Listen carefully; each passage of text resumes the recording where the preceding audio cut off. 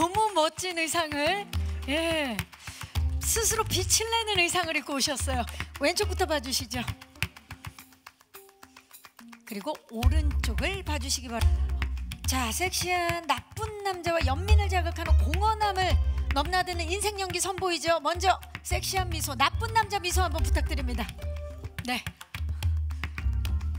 어 이거죠. 평소 이제 나쁜 남자 미소를 지어볼 일이 없죠 별로 자 그래도 지어주셔야 돼요 오늘. 제작 발표라. 자 그렇죠. 이번에는 방랑자의 고독한 눈빛 한번 부탁드릴까요? 마침 가을이에요. 도한 씨 이겨내세요. 네. 오른쪽 그리고 왼쪽입니다. 아 멋집니다. 가을가을하네요 잠시 후에 다시 모시도록 하겠습니다. 감사합니다. 자, 결혼식을 앞두고 느닷없이 찾아온 해조와 기구한 여행길에 오르는 또다시 인생캐를 만드는 이유미 씨입니다.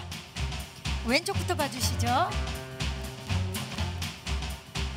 정면. 오른쪽을 봐주시기 바랍니다.